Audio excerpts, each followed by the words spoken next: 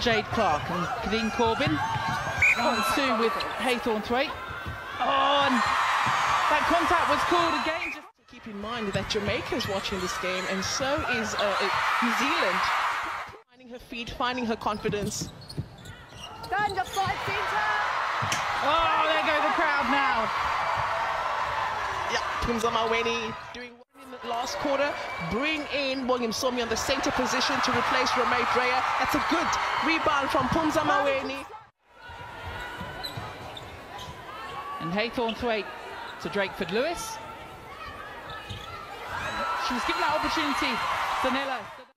You can often pick him out in the crowd. He loves a good hat. Yeah. Oh, I won't like that one though. Van der Merwe accepts it. Well, to, to get into a game too with those those couple of changes, and they are so inexperienced these combinations. Ah, that one's going to hurt.